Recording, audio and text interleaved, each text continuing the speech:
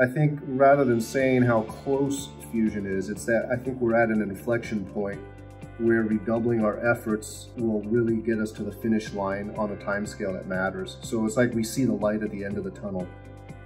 Zap has one of the very most interesting fusion core concepts out there. If they're successful, it might just be the most compact fusion core uh, out there. You know, I don't want to belittle the challenges remaining, but I think that if, if these challenges can be solved, this team and this idea are, are really uh, are very promising. So the challenge that Zap Energy is trying to address is the same challenge that the industry in general is facing and that we've been facing in the plasma physics community since, since after World War II, which is trying to harness plasma physics to bring it to a high density, high temperature object that can sustain a fusion reaction long enough to make commercial energy. The main challenge for harnessing fusion energy in a single word is confinement. Uh, you can do that in a star because they have this huge gravitational field and it keeps it there, you know, nearly forever. On planet Earth, it's really, you know, making a star in a bottle. So it's all about the bottle. We do magnetic confinement fusion just like a large tokamak does magnetic confinement fusion. The difference is that we don't use magnets in order to generate the magnetic field.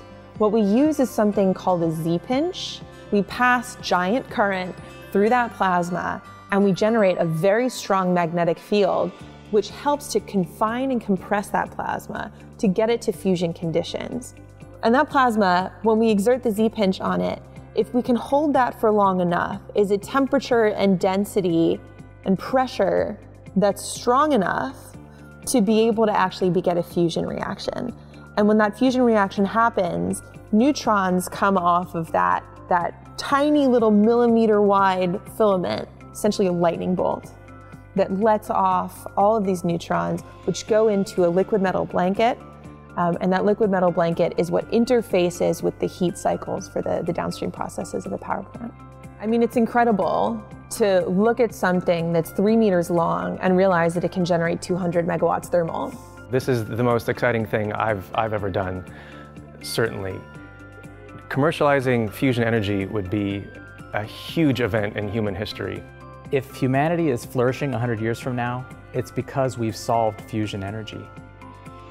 But we don't have to wait 100 years to make that future happen. We can do it now. I like ARPA-E's appetite for going after big ideas. Uh, that really resonates well with us here.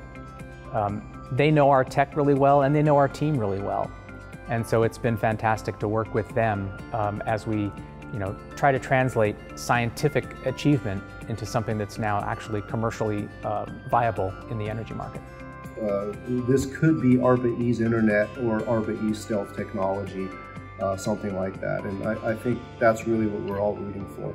The time has probably come. Uh, something like fusion that is truly carbon free and globally scalable. Uh, I think the time is here that we need something like this. We're building the energy generation paradigm for humanity in the future. And to be able to do that is incredibly exciting.